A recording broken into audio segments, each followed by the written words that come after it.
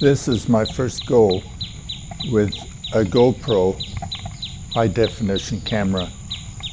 I've mounted it on an electric wheelchair outside my house, Peppermint Grove, Perth. So I cruise around to the front, then head out to the front gate.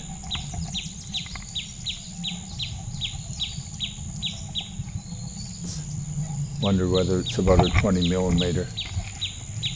It also makes it quite stable and the resolution is fantastic. Comes with about eight mounting devices. So I use the Velcro one on the uh, wheelchair.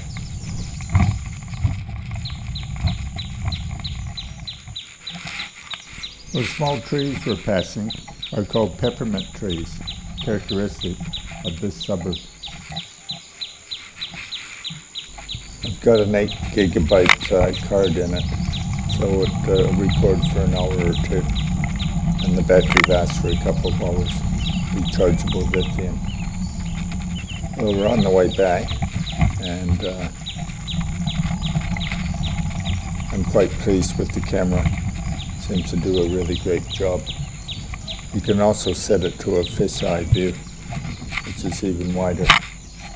Thanks for joining me on this tour with the GoPro.